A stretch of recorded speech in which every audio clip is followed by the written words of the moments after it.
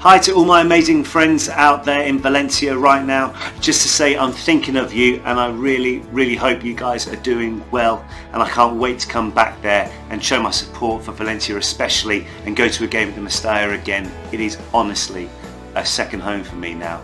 I can't believe it was a year ago since I went to the game there, which just shows how time flies, but also how much something touches your heart. Because one thing I remember about the day is one, I can't take penalties in front of a big crowd. If anyone was there on the night, you'll probably know what I mean.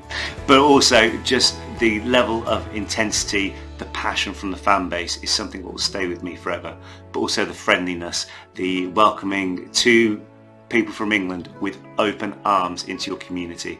And that will always, always be such a amazing thing for me and then also being able to go down to Sevilla and watch Valencia obviously beat Barcelona in the Copa del Rey final. But then some amazing stuff happened on that weekend.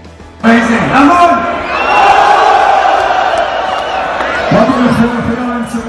And that was seven hours before kickoff. Just shows how passionate and crazy you guys are in a very, very good way and of course we all know what happened later that night. And again, at the beginning of the season, James and I were able to go to Stamford Bridge to watch Valencia beat Chelsea in the Champions League and obviously go on and win the group.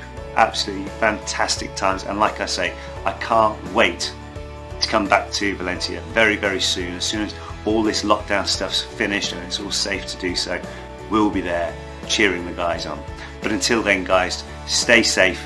Don't forget, look after each other and the Mundo desde casa.